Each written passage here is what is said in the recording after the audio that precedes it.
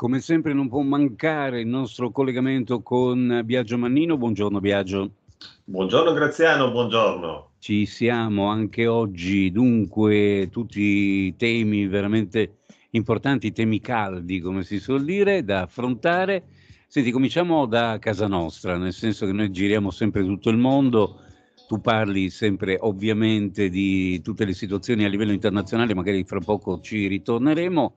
ma ogni tanto diamo un'occhiata e tastiamo il polso anche alla politica italiana e lo facciamo perché ripetutamente di mese in mese vengono riproposti dei sondaggi, vengono, insomma, si capisce eh, qual è il gradimento ovviamente anche a livello eh, di governo e quant'altro. Quali sono le ultime notizie in tal senso? Beh, la politica italiana sembra essere tornata a quella dei tempi precedenti al governo Draghi, perché l'esperienza del governo Draghi aveva mostrato come poi in definitiva i partiti si fossero eh, messi sostanzialmente in un angolo di fronte alla forte presenza eh, di eh, Draghi al governo con quella maggioranza che ormai lo sappiamo bene era composta un po' da tutti tranne che da Fratelli d'Italia. E proprio Fratelli d'Italia sta raccogliendo in questo momento sempre di più il consenso, un consenso che sembra non finire mai, le elezioni già avevano dato un risultato, lo sappiamo bene, estremamente favorevole al punto tale che Giorgia Meloni è divenuta Presidente del Consiglio e che i sondaggi poi successivamente ripetuti anche settimanalmente danno un'idea di eh, continua ehm, affermazione del centrodestra in generale ma di Fratelli d'Italia e di Giorgia Meloni in particolare. E un consenso che viene dimostrato sostanzialmente dai numeri dove sebbene ovviamente di settimana in settimana i valori tendono a aumentare di pochi decimali, comunque mostrano questa, questo trend. E ci si chiede a un certo punto quando avverrà anche la pausa di, eh, di, di assestamento di questa, di questa, crescita, anche perché nonostante quanto sta accadendo in Italia in questo momento, le varie polemiche legate soprattutto ai costi della, della benzina, non sembrano aver eh, toccato sostanzialmente la vicinanza da parte degli intervistati che poi rappresentano sostanzialmente un campione che rappresenta un modo di vedere più esteso e mm, non sembra aver attaccato appunto questa vicinanza nei confronti di Fratelli d'Italia, di Giorgia Meloni e anche di Lega e Forza Italia che in un modo o nell'altro, sebbene lontane dai numeri che Fratelli d'Italia sta ottenendo, comunque ottengono un consenso che e evidenzia che il centrodestra in generale in questo momento ehm, è visto con grande, con grande favore. E differente la situazione invece al centro-sinistra, ehm, se il Movimento 5 Stelle comunque ha tenuto sostanzialmente le posizioni e si sta affermando come secondo partito, secondo i sondaggi, nel contesto, nel contesto italiano, è altrettanto vero comunque, dobbiamo ricordare che i numeri hanno evidenziato come rispetto alle elezioni del 2018 ci sia sostanzialmente stato un dimezzamento, mentre Fratelli d'Italia è passata dal 4% a quelle percentuali che oggi con i sondaggi sfiorano o addirittura superano a seconda degli istituti di sondaggio il 30%, invece il Movimento 5 Stelle ha tenuto rispetto delle previsioni che venivano fatte in fase preelettorale. C'era chi supponeva la, ehm, un, un disastro totale nel, nel, per quanto riguardava il Movimento 5 Stelle. Invece questo non è andato, non è andata così e nel contesto appunto dell'opposizione si sta dimostrando sostanzialmente essere il primo partito.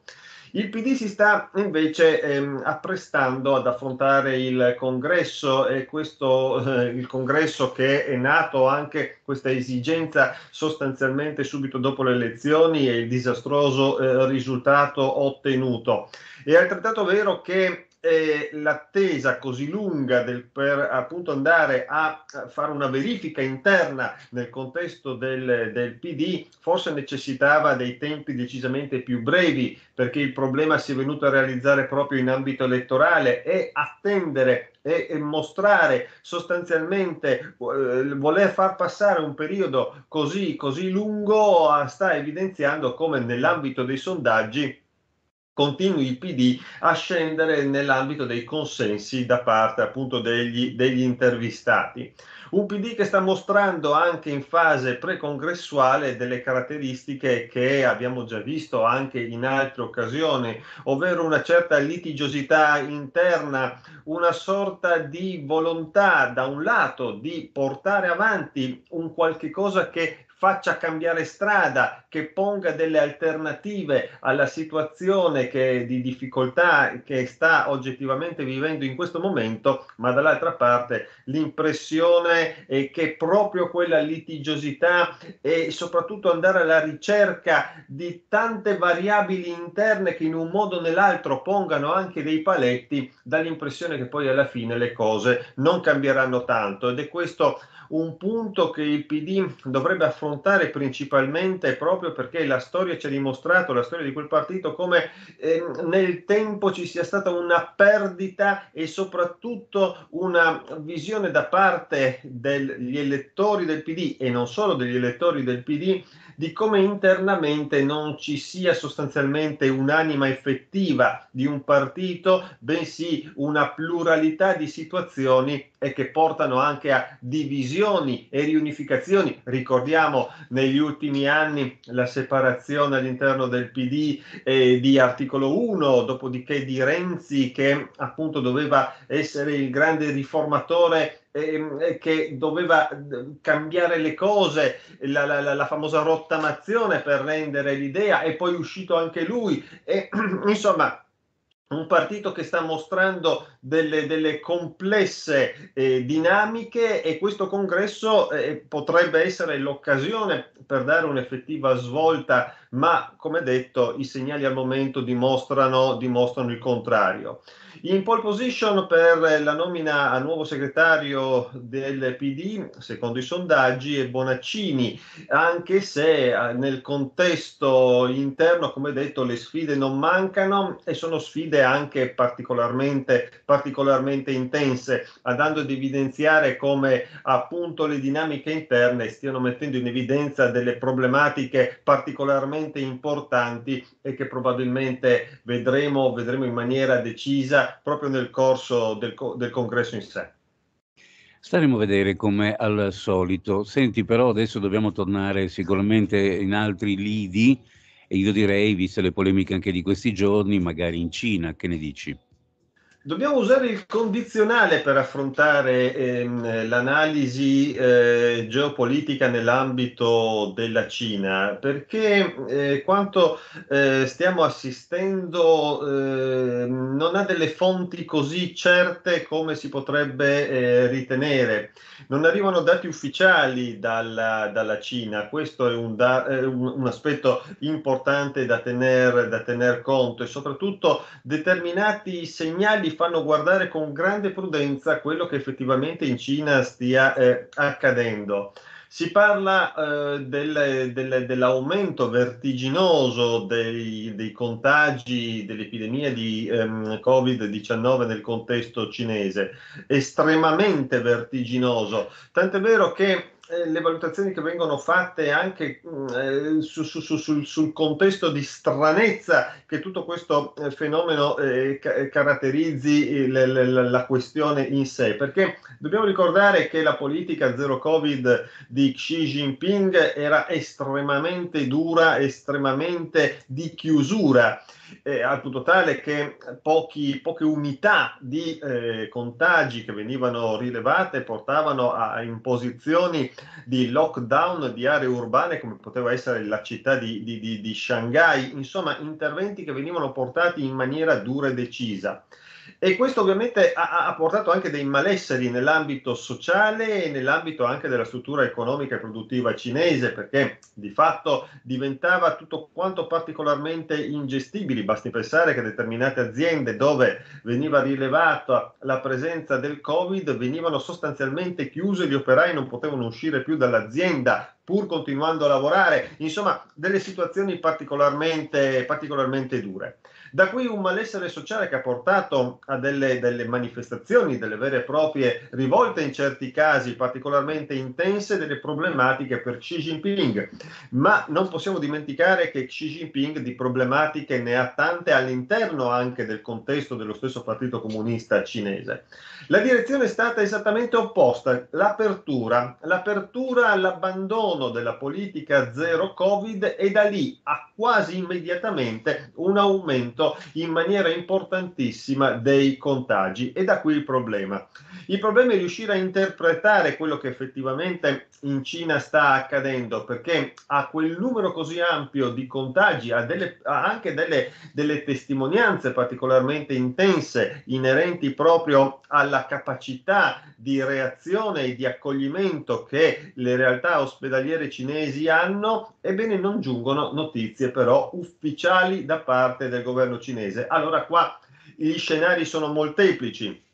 da un lato una volontà di mantenere eh, nascosta la reale situazione, però è altrettanto vero che la Cina è un paese oggi talmente importante e al centro delle logiche internazionali che diventa anche difficile, non stiamo parlando della Corea del Nord, ecco per rendere l'idea del, del, della situazione, dall'altra parte una politica per Xi Jinping particolarmente difficile in ambito esterno, perché la Cina viene vista ovviamente con grande preoccupazione, ma anche in ambito interno, perché Xi Jinping è molto osteggiato all'interno del Partito Comunista Cinese e lo ha dimostrato anche il percorso che Xi Jinping ha, ha voluto adottare nel corso del ventesimo congresso del Partito Comunista Cinese. Ma altre notizie che ci po- inducono a utilizzare il condizionale vengono dallo Xinjiang. Lo Xinjiang, lo sappiamo, questa eh, enorme area, regione della, eh, della Cina, la più grande regione in termini di estensione della Cina, ma fondamentale per quanto riguarda soprattutto le risorse naturali e il gas in particolare. Ci troviamo nella parte nord-occidentale della Cina. Dalla parte nord-occidentale della Cina, per rendere l'idea, si sta costruendo un gasdotto che porterà il gas nella grande città produttiva di, di, di, di Shanghai. Ecco perché lo Xinjiang è fondamentale. Da lì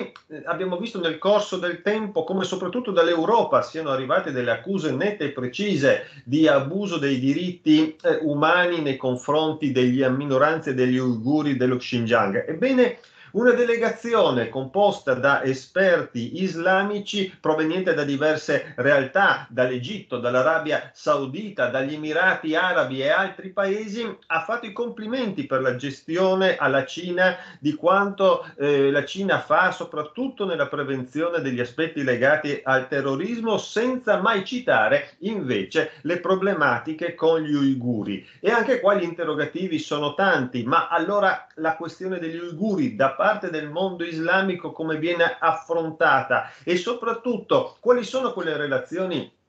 che spingono un mondo islamico ad avvicinarsi sempre di più a una Repubblica Popolare Cinese e viceversa. Sappiamo che gli interessi della Repubblica Popolare Cinese nei confronti in particolare dell'Arabia Saudita e di tutto il contesto della penisola arabica in particolare stanno aumentando sempre di più, soprattutto dal, 2000, dal 2020, dal momento in cui la produttività cinese precipitava per le, le, questioni legate all'epidemia eh, di eh, coronavirus e, e, e, la produttività calava in maniera importante facendo abbassare la domanda di petrolio, alla fine di tutto questo la Cina si è mossa nella direzione dell'Arabia Saudita trascurando parzialmente quella iraniana. È altrettanto vero però che la guerra in Ucraina ha fatto sì che la Cina diversificasse le fonti di approvvigionamento energetico. E ehm, non solo perché gli interessi cinesi in Arabia Saudita sono forti, determinati e decisi, soprattutto anche per andare in altri ambiti, in altri settori. Quindi quello che noi in definitiva stiamo osservando nel contesto cinese interno ed estero ci impone di guardare comunque il tutto con delle dinamiche che eh, ci portano a utilizzare il condizionale, anche perché nell'ambito della questione eh, legata all'affermazione della Cina, ovviamente gli interessi sono molti e se vogliamo le, le, le, il gioco sta diventando sempre più intenso tra quello che è il rinato blocco occidentale e il contesto della Repubblica Popolare Cinese in questo caso. C'erano altri temi, ma non riusciamo ovviamente a sviscerarli. In Temo di no. No, infatti. Io direi che possiamo allora rimandare il tutto eventualmente se ci saranno anche altre informazioni e altre novità già la prossima settimana, lunedì, quando riprenderemo le nostre chiacchierate mattutine. Va bene? Viaggio. Bene. Ciao Graziano. Buon weekend. Grazie. Ciao, ciao, ciao.